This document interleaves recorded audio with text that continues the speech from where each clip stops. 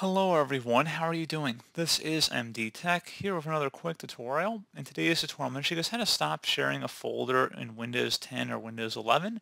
So if you want to view different files or folders that are being shared within your home network, I'm going to show you guys how to go about determining them and then how to disable them as well.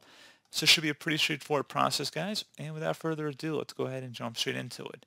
So what we're going to do first, if you just want to see different folders that are being shared on your computer, or on your network more appropriately, you just would open up the search menu and type in fsmgmt.msc and go ahead and open that up. And now if I just make this window a little wider here, click on the shares folder, you should see all the folders that are currently being shared. So let's just say, for example, you want to go ahead and just disable sharing of one of these folders. You just would right click on the folder and then select stop sharing and you can go ahead and select yes. Please keep in mind that you don't want to disable folders that may be important, but if you just have a personal folder you've set up and sharing between different computers, you can just disable them in this manner.